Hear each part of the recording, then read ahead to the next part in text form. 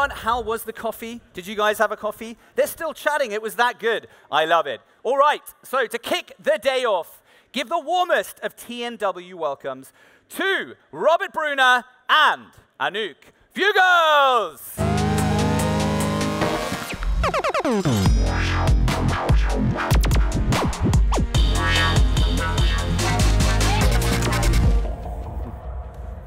Hello, everyone. Welcome. Hello. Thanks for joining.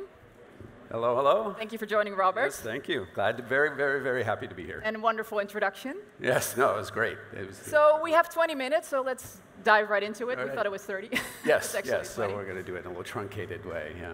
Yeah. Um, so, Robert, you've had a very extensive career. Mm. Um, but I think what I would like to start with is, is looking back a little bit the time that you were in Silicon Valley, Mm. uh, working at Apple.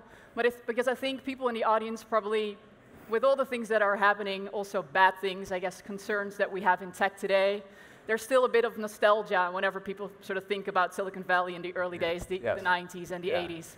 So tell us a little bit what was it like and what do you miss most about that time? Yeah, it was, it was amazing. I mean, I'm, I'm actually a rare child of the computer industry. My father um, designed disk drives at IBM in the 60s.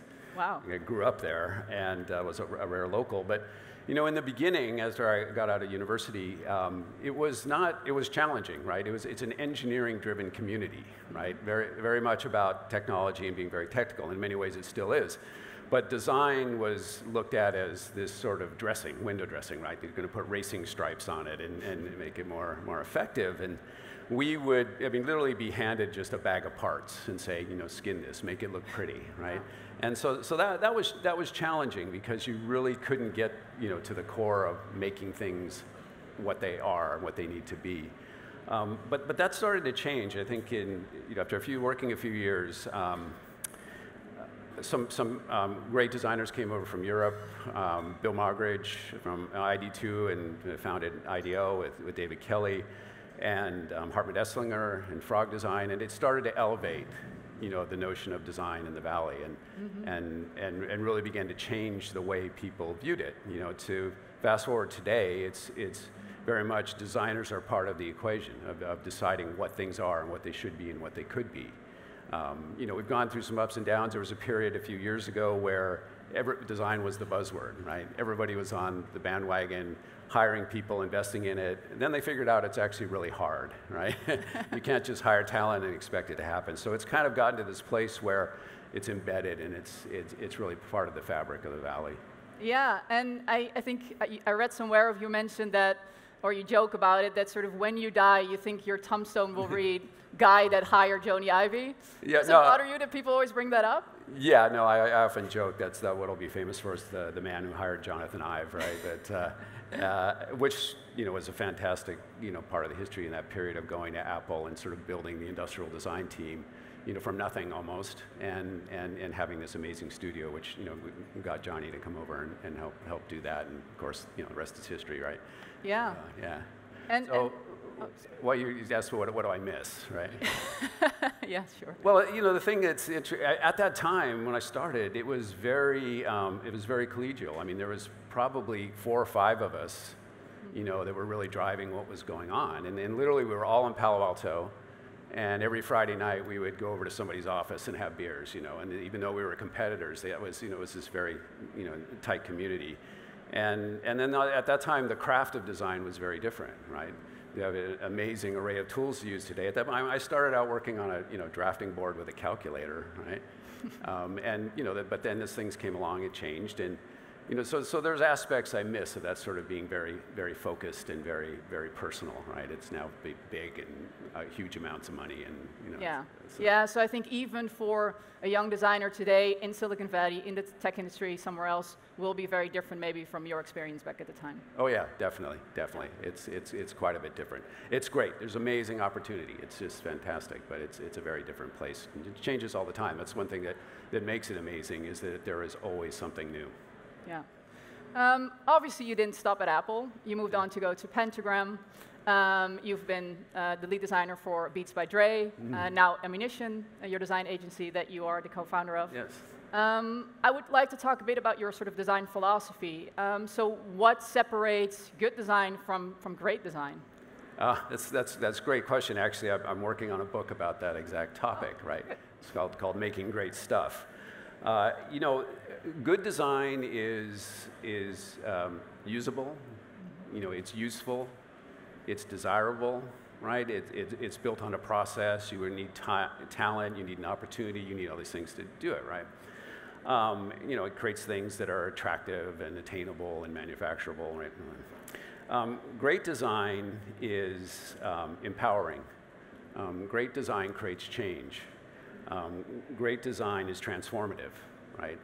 And, and to get there, it's a completely different level, right? And, and, it, and it ultimately, it's a very human thing. It's driven by, driven by passion and driven by vision and usually driven by a small number of individuals that have a religious commitment to making it just right you know, and so these are things that sort of start to drive the things that are really great and, and take that, that enormous amount of investment and time to get there.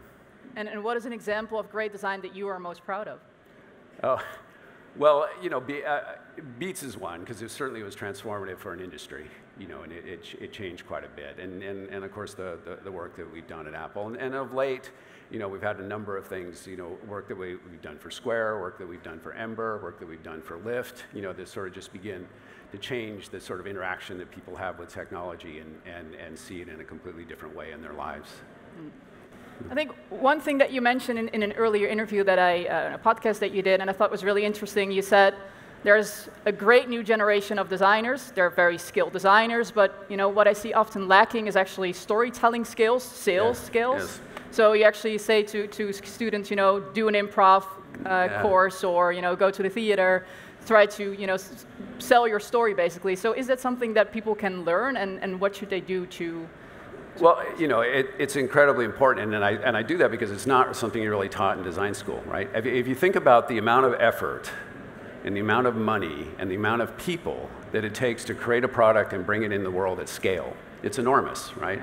And if, you're, if you want to do something that is creating change, that is doing something different, you know, you have to convince this army of people about your vision, right? You and, and, you really need to tell a story. You really need to contextualize things. You really need to know how to engage people and bring them on to your mission.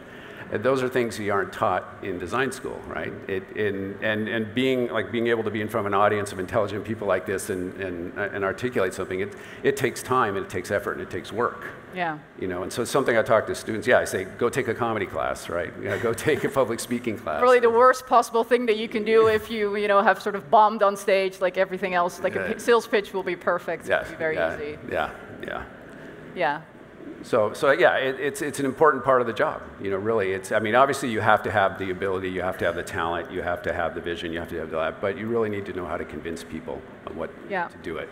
And I think another thing, and that's, that's empathy, right? Sort of understanding what your user, using. And specifically, if you're a product designer, you're going to design something that's going to be built for a large audience. Many people should be able to use it. You have yep. to sort of be able to step inside, mm. you know, anyone else's shoes, basically, to, yep. uh, to make it. So is, is there, do you have like a trick for that, or how does it work? How is your design process? Well, you know, you mentioned the word empathy, and I think that's one of the, the uh, as a designer, and really anyone that's working on creating something with people, is, is having this ability to put yourself in their lives, in their shoes. You know, we, we spend so much time, and it's always natural to design things for yourself, right? And, and what you've experienced and what you believe, and that, that's important. But ultimately, at some point, you have to be able to understand how you're going to deliver something into someone's lives. And that, you know, the title of the talk is something, an important question we ask at the beginning of every project is this idea of what's worth designing in the first place, mm. right?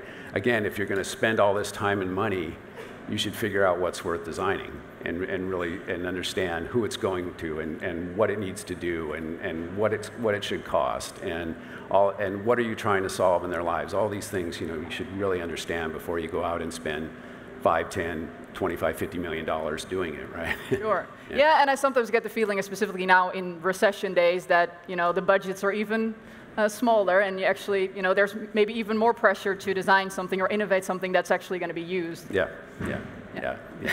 Unfortunately. Yeah.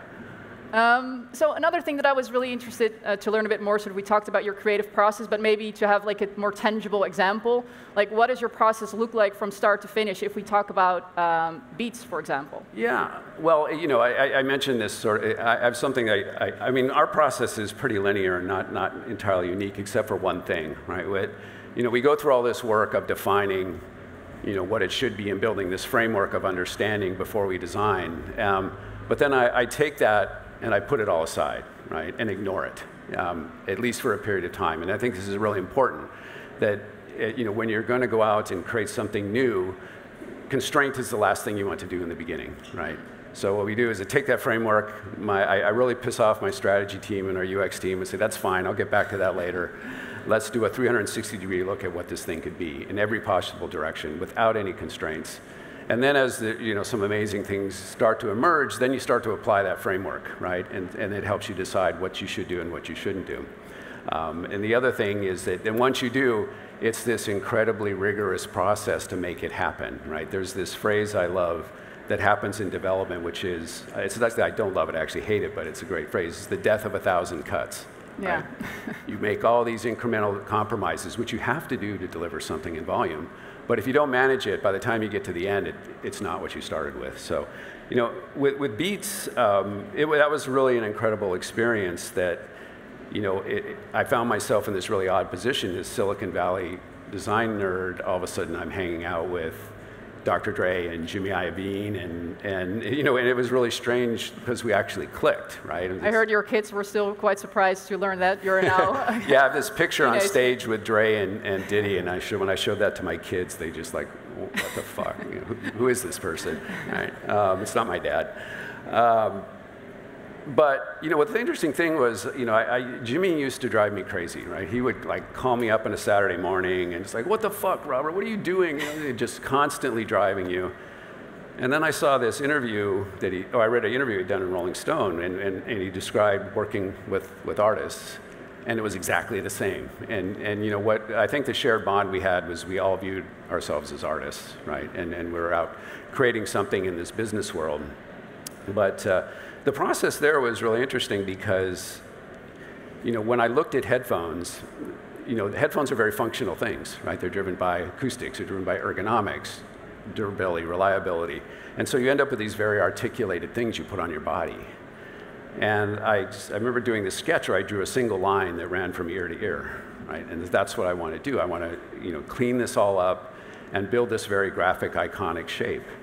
Um, that took a, like, two years to engineer and get it to work, but, but it was really important because what, you know, you know, Dre's thing was, you know, we're going to create sound. You know, in the first meeting we had, he made this statement we put on the box. He said, people aren't hearing my music, right? Which, they, you know, he was crafting some of the most popular music in the world, yet headphones were tuned to be very general, right, to, yeah. from, from an audiophile perspective. Um, Jimmy he saw this for his audience that he understood very well. There was no high performance audio brand, right? Bose is your dad's headphone, right? And so, yeah. you know, so for, for, for kids looking to really have an amazing sound. And, and so, you know, we created this very, this very, this original studio, this very iconic product, and, and Jimmy, he treated it like a star, right? He put it in every video going out of Universal Music. He, every, every artist that he knew was wearing it. Every athlete he knew was wearing it. really sort of influencing before influencer was a thing. Well, it's this thing that's very important, and uh, is cultural relevance. Yeah, right? no. And, and when you have cultural relevance on a product, it's like an accelerant, right? And so the, the process was really about building this thing, getting it out in the world, and then driving it through this, this, this, this marketing idea that, that you said changed the industry. I remember two years after we built the headphone, I went to CES, and literally 70% of the products had influence from our original product, right? It just changed the entire industry. Yeah. So.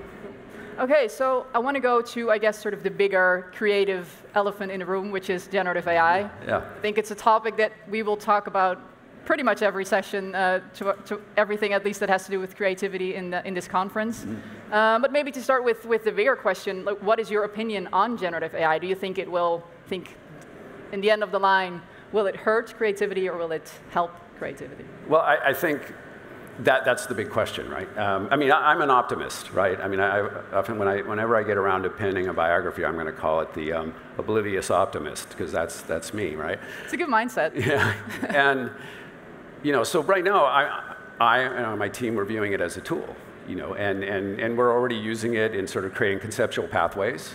You know, and so as we're looking at doing something, using it as a way to provoke the process and create new ideas and and that's, that's really valuable. Of course, you know, a lot of the things that we do to create some of these amazing images that take an enormous amount of labor and time um, are going to be automated. It's going to just disappear that, that function. You know, so there's a lot of things like that. I, I think, though, the really prickly question that I keep coming around to is that, you know, for me and, and my, my viewpoint, the, the, the contribution the human element is incredibly important, right? And I, I, think if you think about it, you know, the, the products that you love, that you're really engaged with, that have made an impact in your life, you can feel the hand of the designer. You can feel this thing, you know, that people did. I, I tell this story. I, when I was at Pentagram, um, the one of my partners, uh, amazing designer and artist, Paula Scher, you know, I was at a meeting with her.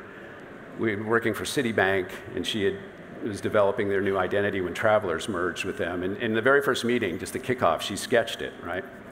Went away, charged them half a million dollars, came back four weeks later and showed them this logo she'd sketched in the first meeting. And they said, you know, why are we paying you all this money if you, you know, you're, you're giving us the first doodle you ever did?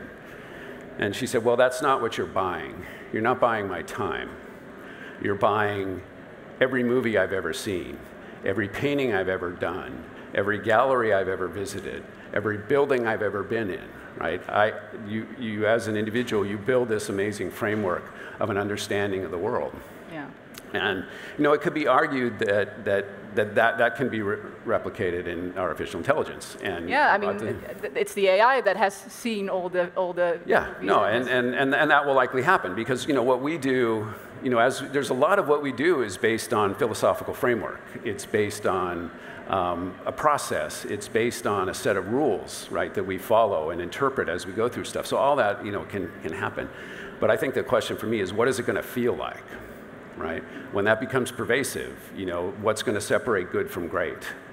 Um, and, you know, I mean, maybe I'm old school, I've been doing this too long, but I still think that that human element is going to be there. But I do think our, my job is going to change and even, and, and in a good way, it's going to veer more towards um, defining and editing and, and, and building this thing. And so much, so many other things may happen in the background. And it's not that different from when I, am old enough. I'm, I'm, a lot older than I look.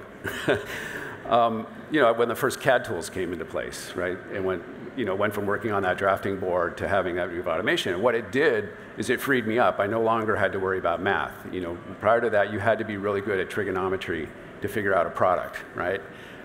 That went away. And, and so I think you know what it will do I'm hopeful, and the optimism is it's going to free people up, free designers up to spend more time on the important stuff, right? And really use those as tools to help, you know, take things out of the process and be done. But like I said, I still believe that the human element is going to be critical, and that's, you know, what, what people, consumers, many times identify with, you know, and can yeah. Feel. And, and if we talk about the industry a bit more, so you know companies like Canva or Adobe, like what do you think will happen to, to those companies? I mean, Adobe obviously has a, a, wonderful tool out now. Yeah. You see all these other companies trying to integrate AI into their own platforms, but you think they sort of can keep up with uh, with like separate platforms such as ChatGPT, such as Midjourney or Stable Diffusion, or what will happen there? Well, you know, the, the, the, I think so, right? I, I think they're going to have to change their focus, you know, and really change their mindset about what they're creating. And, it's, and I think there's really a blurring that's going to happen continually between tools and content. And, and really, you know, what are, what are they providing now, right? Are they really providing, um, you know, a, a, content engine that, that is, is creating content on its own, right? And so it, it, it, causes a change in thinking and a change of communication about what it is they're doing. It's going to be radical, radical change for those companies in terms of what, what it is actually they're delivering to people. Yeah, definitely. But so in the end, you're an optimist, so all the people here in the audience that are working in creative industries, they will still have a job in 30 years from now? I believe so. I believe so. I mean, it's, it's again, I've, I've been doing this long enough to see these change points that happen and, and make radical change. But, you know, the, the need for us to really sort of continually drive it. And, you know, the thing that's, well, one of the reasons I got into this is the, the relationship that people have with things really fascinates me. You know, I mean, if you think about it, we use, in many ways, objects, products, clothing to define ourselves, right? The, the, house you live in, the car you drive, the shoes you wear, the chair you sit in, all these things, they're functional, they provide a purpose, we need them, but the ones we choose, you know, say something about ourselves. And, and that, that connection people have with things is really important. And I think that's going to maintain this connection with the individuals that are, that are driving it. And it's just the process is going to change, the tools are going to change, the outputs are going to change but I still believe we'll, we'll be there driving the bus. Yeah, as long as we're still designing for humans and not for robots, I guess uh, yeah, they're yeah, still yeah. worthy to, to put in. Uh, it, it's a really interesting time. You know, it, Definitely, it really yeah. is. And, you know, as again, I'm, I'm not viewing it as, you know, holy shit, am I going to be out of a job? I'm viewing it, you know, how are we going to figure this out? What are we going to do with it? And how can we make it really interesting for our audience? Right. Great. So, yeah. Okay, guys, I think that was all the time we have. Uh, but we do have a Q&A where everyone who wants to ask a question directly to Robert uh, can do so. It will be at the TNW Talk stage, I think, in 10 minutes. So uh, if you're interested, if you have a question for Robert, if you want to just, you know, uh, share your frustrations about generative AI or whatever you want to do, uh, feel free to, uh, to join us. Thank you so much. Thank you. Robert. Thank you very much.